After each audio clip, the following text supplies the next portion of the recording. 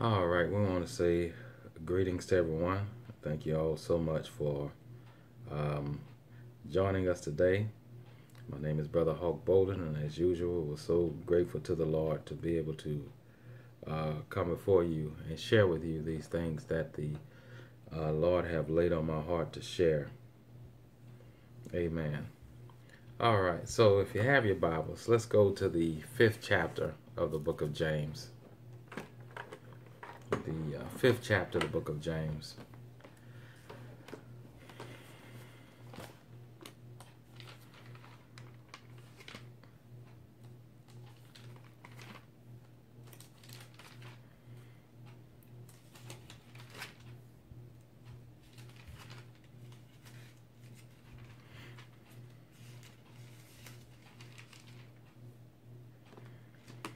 And we're going to start reading at verse 16.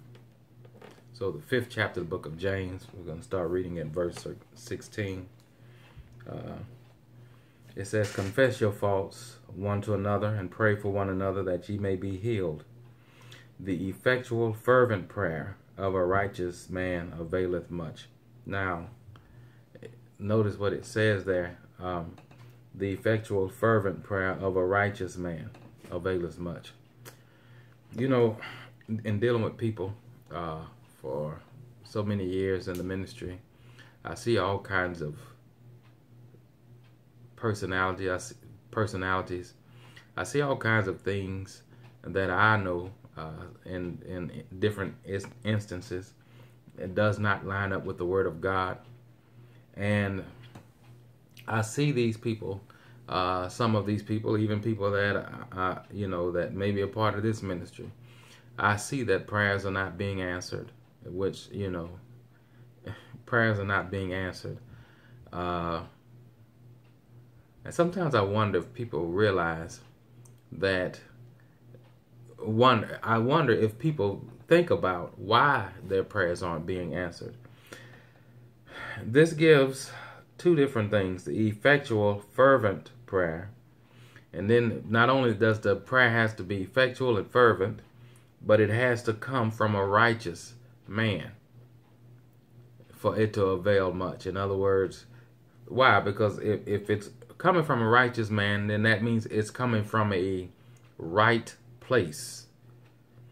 So if you're praying to God because you want a husband, but you're not righteous, and you can say within yourself, I'm not righteous, I'm not doing everything I know to do, then that ought to show you that your prayer is coming from a wrong place. In other words, you're wanting a husband for the wrong reason.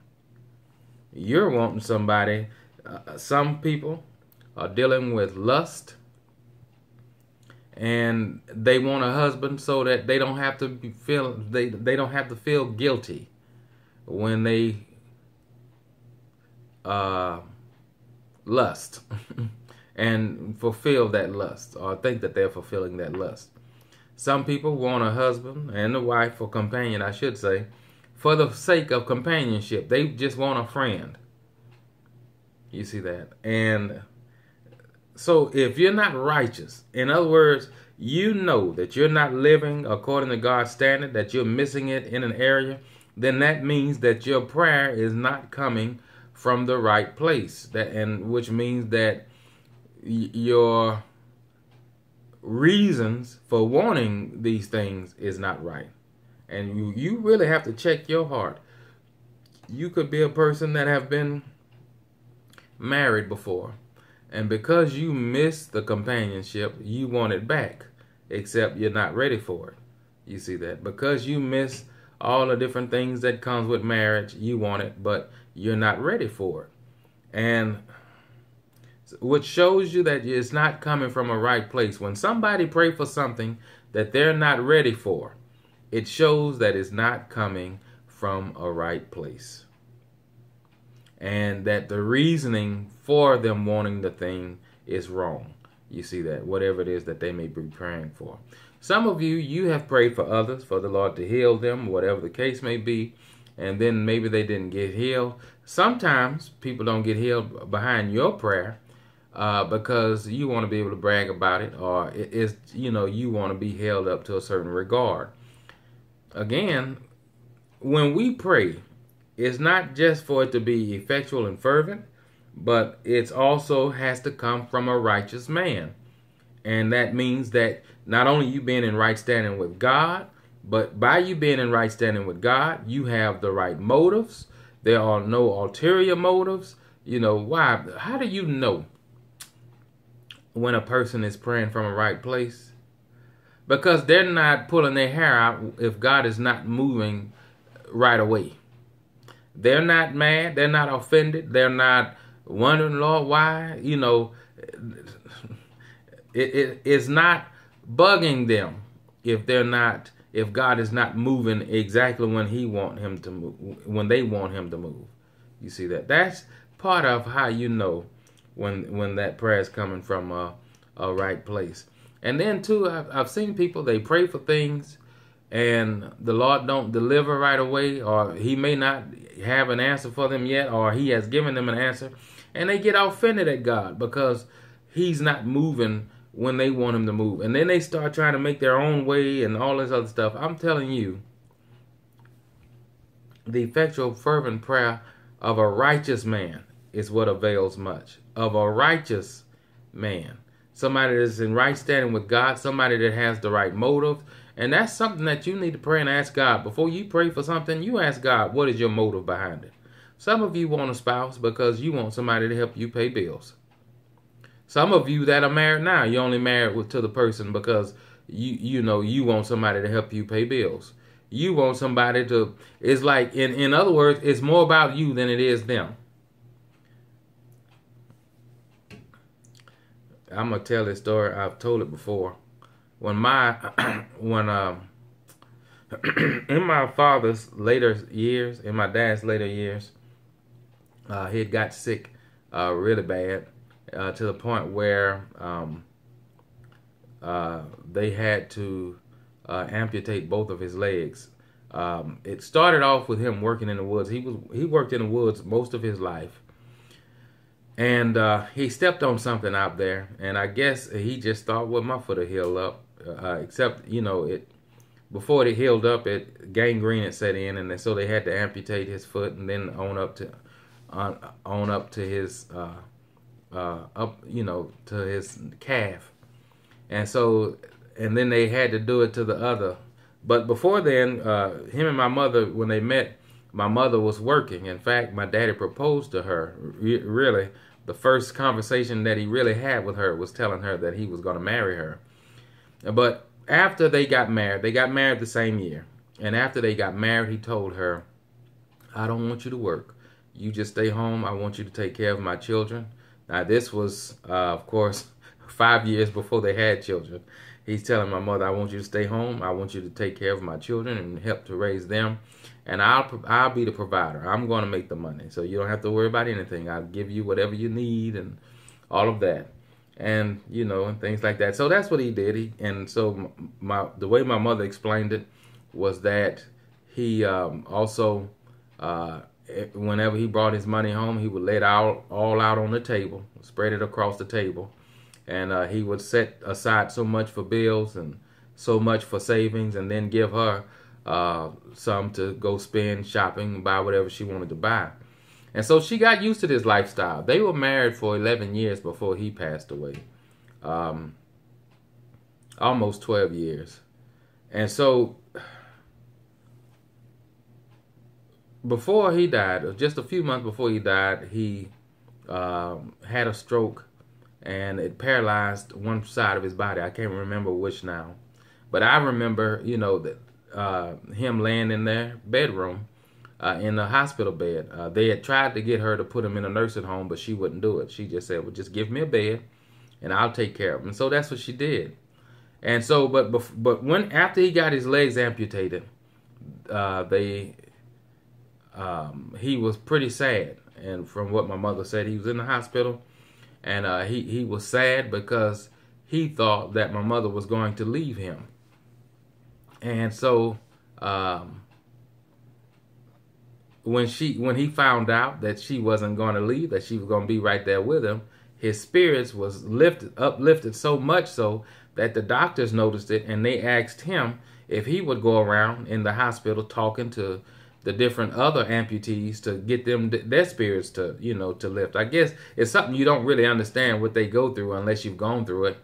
And so that's what he did. He spent the rest of his time in that hospital going around talking to the other uh, amputees uh, to to lift their spirits.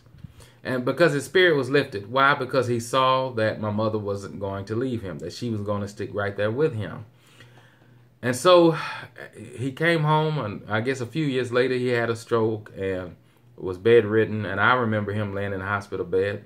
I, I can remember uh, him being fed through feeding tubes. I also remember standing on side of the bed and eating watermelon, and him looking down at me, and uh, and uh, saying, uh, "Give me some of that watermelon." So I fed him some of my watermelon. That was the last conversation I remember uh, having with him, where he spoke directly to me. And I remember my mother taking care of him. You know, he was paralyzed on one side of his body, and so he was bedridden. And I just remember she basically had to do everything for him. I remember all of that. And I, that was my first glimpse of what true love was. And it showed me that her getting married and wanting to be married was for the right reasons because she went from being a woman who was pampered, who didn't have to worry about paying bills. When my daddy died, I remember my mother saying when he died, she didn't even know where to go pay bills. She didn't even know how to put gas in the car. He took care of all of that. He, you know, he pampered her. And uh, so she she had to learn a lot of things. You know, she had to learn a lot of things you know, and because of how he treated her, you know, as far as just pampering her, you know, and things like that. And so, but it the, the tables turned at some point where she had to take care of him. Those, you know, she she had to learn how to do all those things, how to pay bills and how to uh, put gas in a car, and you know, so he was completely helpless for the most part.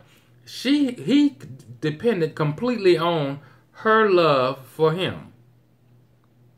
She didn't walk around saying, "Oh, you just I can't believe you just laying up there sick. Why don't you get up and do something?" Or, you know, how many of you, as a, a, a spouse, or some of you that want to be married, how many of you could go through that, knowing that your your you know your your spouse is down probably for the rest of their life if the Lord don't do something for them?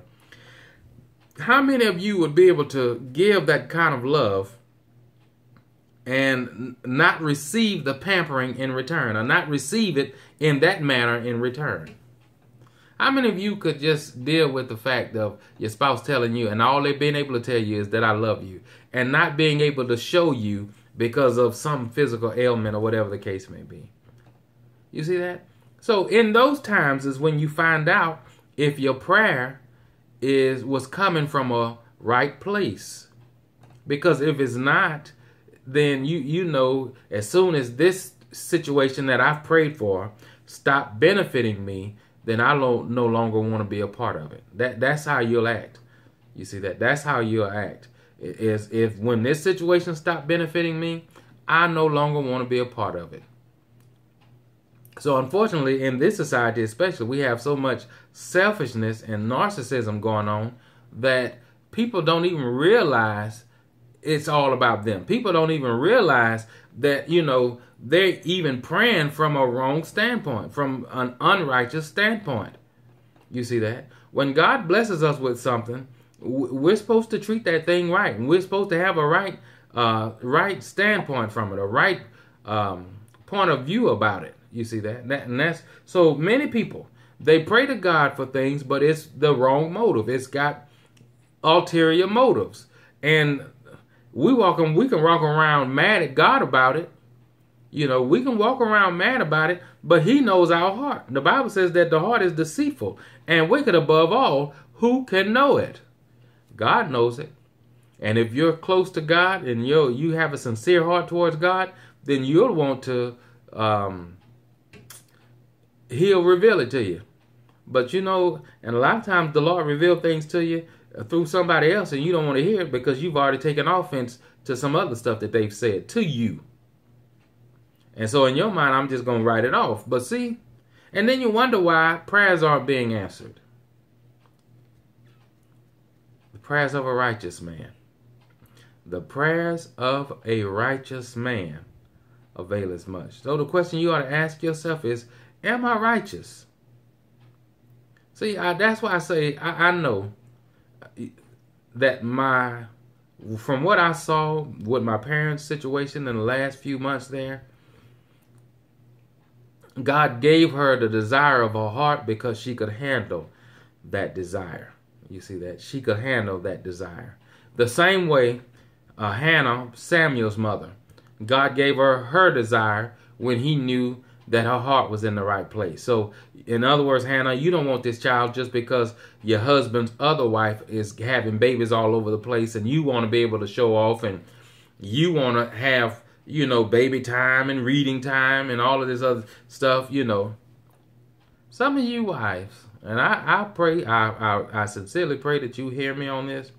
Some of you women, you want husbands for the sake of having babies. You want, in other words, ulterior motives. Now, I know that may sound crazy to some of you who haven't gone through that, but I'm telling you, there are some of you, you want a baby more than you want a husband. You just want the husband, you just want things to be in place for that baby. So, again, the wrong motive. Some of you, as soon as you find out you're pregnant, you can throw your husband away. As soon as you have a baby, you know, God blesses you with a child, you it's just you and the baby now. Forget the husband. I've seen it. I've seen that up close and personal. You see that? You want babies.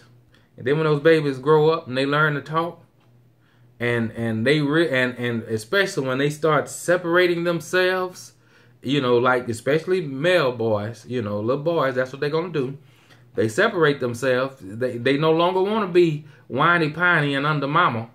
Mama gets heartbroken. Why? Because mama have invested emotionally in that child what she should have been investing in her husband. You see that? And so then what takes place again? You, you all you you know where I'm going. Baby fever. I need another baby. You see that? God knows those motives. He he's not crazy. Now this is your warning. You better get right about your husband, ladies. You see that? You you get right about that. God don't intend for you to make your child the center of your universe. That's what makes them bratty and hard for other people to deal with. Because you yourself have emotional issues. Even when you pray, you're praying from a wrong standpoint, in other words. Is there's nothing wrong with wanting a child. There's nothing wrong with wanting a marriage.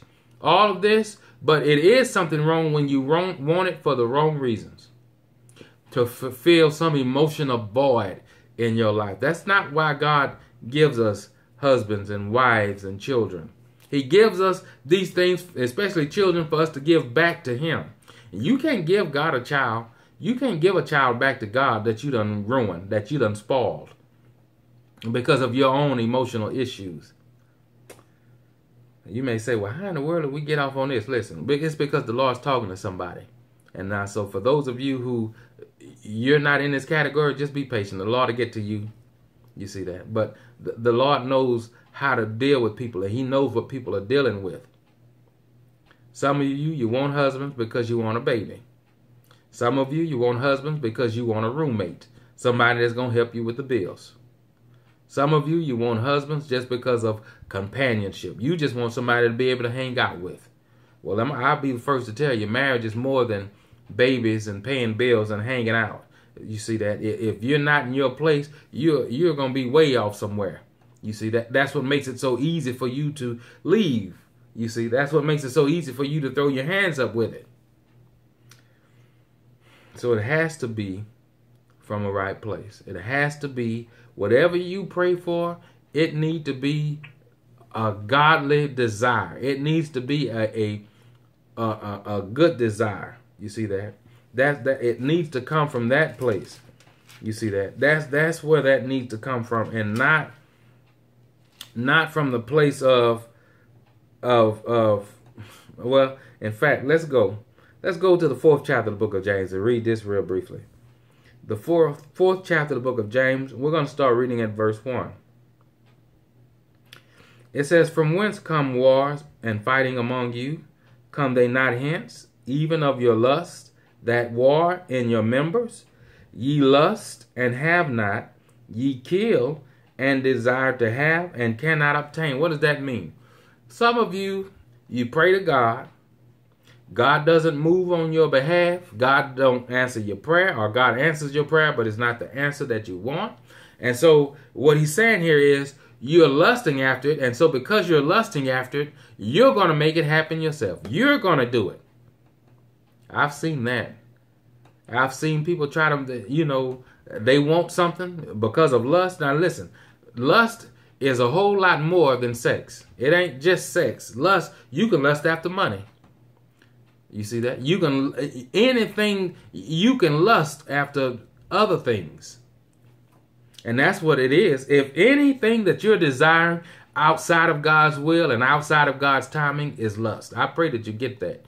Anything that you desire outside of God's will, outside of his timing, from an unrighteous standpoint, it is lust. You see? Verse 2 it says, Ye lust and have not, ye kill and desire to have and cannot obtain. In other words, so you struggling trying to make, trying to answer your own prayer, really is what you're doing. And God don't allow that to work out for you. And then some of you get mad and you shake your fist at God because He's not letting you get your own way. You see that? He's not letting you get your own way. See that? You fight and war, yet ye have not because ye ask not. Verse 3 Ye ask. When you do get enough sense to ask, look at what he says. Ye ask and receive not. Why? Because ye ask amiss. In other words, away from God, outside of true righteousness. You ask outside of from the standpoint of the way God sees things. It is crazy to me that a woman will pray for a husband and have no clue of how to submit to a husband. That right there lets you know. Think about all the women in the world that have prayed for a husband and when they get a husband don't submit to him. That right there lets you know that it's from an unrighteous standpoint. Why would you pray for something that you're not prepared for? You see that? And and don't want to be prepared for it. You see. So you ask amiss, in other words, a distance away from God. Your relationship with God isn't where it need to be. So everything that you're asking for is from a wrong standpoint to begin with. You see that? Everything that you're asking for is from a wrong standpoint. So you ask and receive not because ye ask amiss. Why are you asking amiss? That ye may consume it upon your lust. You know what happens when you consume something? It's eaten up. When it's consumed, it's no longer there. In other words, you'll find when you ask for something that's, you know, and you are not in the right place with God, and you're asking behind really for the wrong reasons, the Lord is letting you know you're going to consume it upon your lust. You're going to destroy that very thing that God would give you if He give it to you. You'll destroy it. Even if you try to make your own way to get it, you'll destroy it. That's what it's talking about, you consuming it. You you will destroy the very thing that you're lusting after if it's not from a right standpoint. You see that? If it's not from a right standpoint. And then you'll be crying to the Lord, what happened? I don't know what happened. Uh, well, I tell you what happened. You weren't right with God to begin with. That's what happened. You see that? Look at what he says, verse 4. Ye adulterers and adulteresses. See that? What does he mean? So since you're asking amiss, in other words, at a distance from God, when you get it, that's what makes you an adulterer. Because if you're asking God for something and there's any space between you two, you and the Lord, that means you're going to put that thing that you're asking for in between y'all. That's what makes you an adulterer. You're going to consume it. That that thing becomes more important to you than God does. Some of you, your children, more important to you than God is. You won't discipline them the way the Bible tells you to. That child is more important to you than God. Some of you with your uh, your your spouses, you can't submit to your spouse, you know you're still an adulterer. You know why? Because God's word is not as important as your own will in a situation. Look at what he says. Know ye not that the friendship of the world is enmity with God? Whosoever therefore will be a friend of the world is the enemy of God. What happens? A lot of the things that we're asking for has to do with worldliness. You don't have to be saved to desire a spouse. Worldly people want to do that, but it's for the wrong reason. And that's what makes you part of what makes you a friend of the world. You see that? That's part of what makes you a friend of the world. Look at what verse 5 says. Do ye think that the scripture said in vain, the spirit that dwelleth in us lusteth to envy? In other words, it's naturally so. It lust is there, naturally so. Which is why, look at what that says. But he giveth more grace, wherefore he said, God resisted the proud, but giveth grace unto the humble. See, so that lack of humility is what makes us ask for something before we're ready for it, or what makes us ask for something that is not according to God's will. So that's what that's talking about. Look at what that says. Submit yourself, therefore, to God, resist the devil, and he will flee. Draw nigh to God, and he will draw nigh to you. Cleanse your hands, ye sinners, and purify your hearts, ye double minded. When you are asking from a right place, you will get what it is that you are praying for. Why? Because when you're in right standing with God, you're not, not going to ask for something that's not according to His will. You see that? You're not going to ask for something that's not according to His will. But when you got lust there, you want to fulfill that lust, you'll have enough nerve to go to God and ask Him for help for you to fulfill that lust. And that's what makes it so perverted. You see? So the effectual, fervent prayer of a righteous man are you righteous?